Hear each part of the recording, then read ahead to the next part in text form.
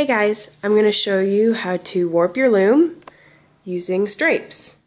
So start out by making sure that the back of the loom is towards you. You'll know it's the back because there's only a little bit of space here, whereas the front has all this space where you weave. So you can clamp it down to make sure it doesn't move, and then make sure your apron bar, which is this guy here, is coming from the back into the inside. So here's the middle, the center, and I'm going to thread a total of 22 slots and I counted over 11 so here's the first one and you can see my little crochet hook marking my spot. So I'm going to tie the first color on which is this blue and the pattern that we're going to thread in is two blue and then six orange and six blue and six orange and then two blue again. So we're just gonna tie it onto the bar and then thread it through. And my yarn is on the floor. Just gonna go down here. You're gonna warp yours to be about 65 inches long. So that we'll have plenty of room to do all the mug rugs all at once without having to do this again. So see here, I have to put it over the bar again.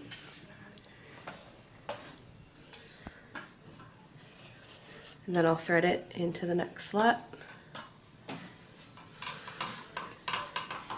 And knock it down again.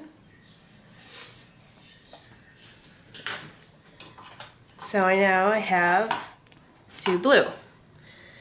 And since the next color grouping is going to be six orange, I'm going to cut off the blue and then just tie a secure knot. That's the cat in the background. He doesn't like to be ignored. Maybe cut yours a little bit longer.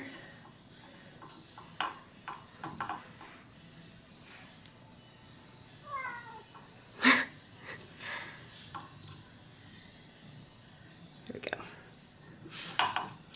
And we're going to keep doing that with every color change, tying on the first one and then cutting off at the last one and tying it on again. So here's the orange. I'm going to start that. And then I'm going to thread the next six slots with that color.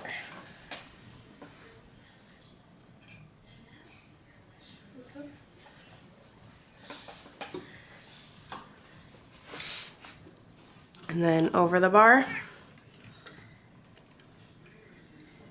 Take care to get all the slots.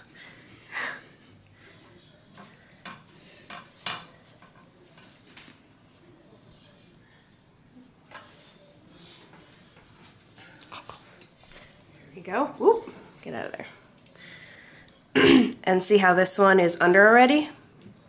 So you just can thread the next one. Easy. Hey, get out of here.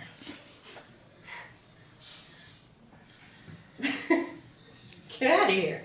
No, shoot. There we go. And this one we have to go over and thread.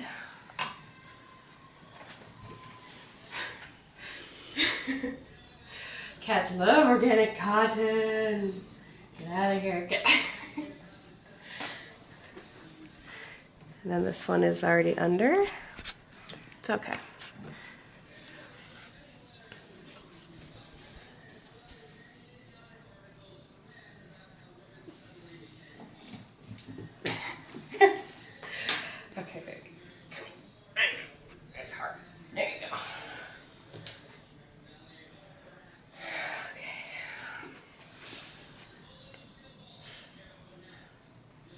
And then here's the middle um, rope guy.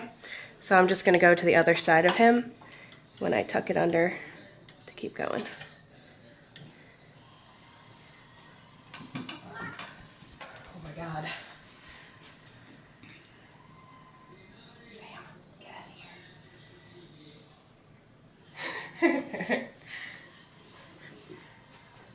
so I have one, two, three, four, five, six in the orange. So I'm gonna just cut it off and tie it.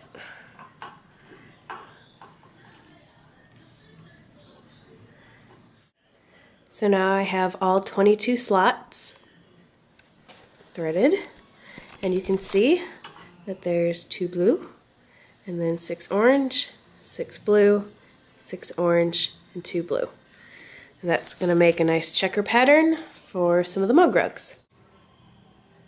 Now I'm going to take the yarn off the peg and cut right here. So the last step that you need to do before you can turn your Cricket around is you want to wind here towards you. Make sure your ratchet dogs are down, otherwise you won't hear that clicking and it won't be secure. When they're down, you can't turn it the other way. So get it down about to the bottom and then fold your paper underneath and then keep rolling it around.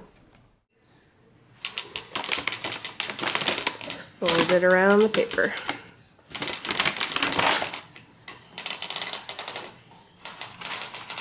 until the end is about there. About that long. And then unclamp from the table here and here and turn it all around. Okay, so now comes the time where we're threading the little holes. So each slot has two threads and we're going to take one out and pull it out from the back and then use our crochet hook to slot each one. And remember, it doesn't matter if you go to this hole or this hole, as long as you go consistently across. So I always tend to go towards the right, since I'm right-handed. So pull it out, thread.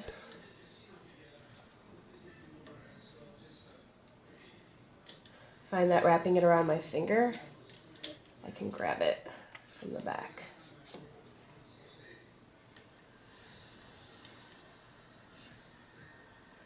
And you'll keep doing this all the way across, making sure only to thread one through the hole and leave the other one in the slot. You can kind of move them to the side when you're done with them.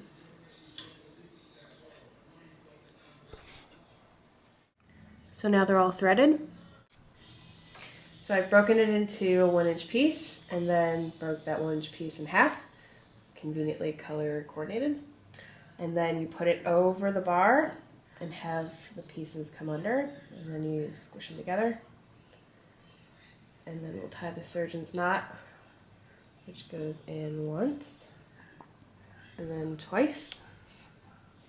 And then you can tie it tight. You can kind of pull up and down again, which works nice. And so then you'll do it again. One each piece in half. Kind of make sure they're nice and straightened out and not crossing each other everywhere. And over. And over.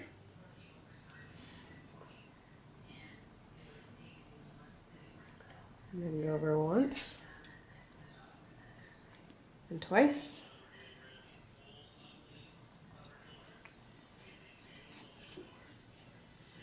And tie tight. And keep doing that until you get to the end.